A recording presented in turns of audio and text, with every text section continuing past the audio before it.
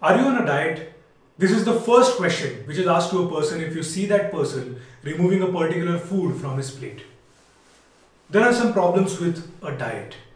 The first one is that diets are short term. They come with an expiry date.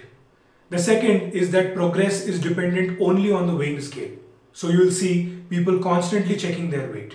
The third issue is that people are frustrated because their energy levels are very low on a diet.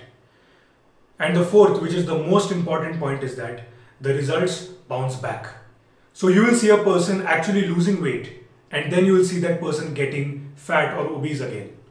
And not only the person will put back the weight which he has lost, but he will put on even more weight. The main issue with diets is that diets are goal oriented. I want to lose 20 kilos, I want to lose 10 kilos, I want to look good for my wedding. These are the goals of people when they follow a diet. But have you ever asked yourself a question, what about your health? What impact is your diet going to make on your medical markers? HbA1c, blood glucose levels, insulin levels. These are very important medical markers which get affected when you eat a particular food.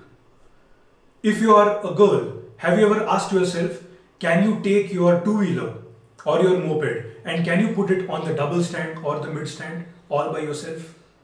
Or if you are a guy, have you asked yourself, can you climb up 8 floors without getting tired and fatigued? So we need to go away from these diets and the answer is lifestyle. And lifestyle is another word which we keep on listening or hearing. An Instagram model posing with cars is also called as lifestyle. A businessman going in a jet is also called lifestyle. What is this lifestyle and what do I mean by lifestyle? True lifestyle improvement means habit change. That we have to get rid of our old habits and we have to form new ones which are better. The first point when it comes to habit change is gaining clarity or gaining knowledge.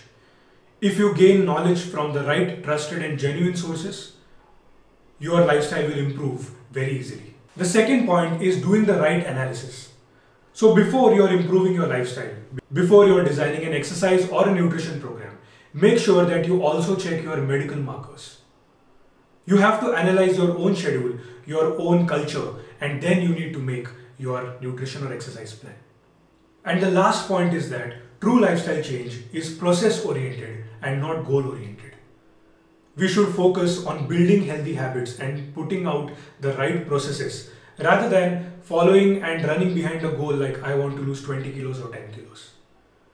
And we at OMFit have formed the lifestyle program which takes care of all of these points.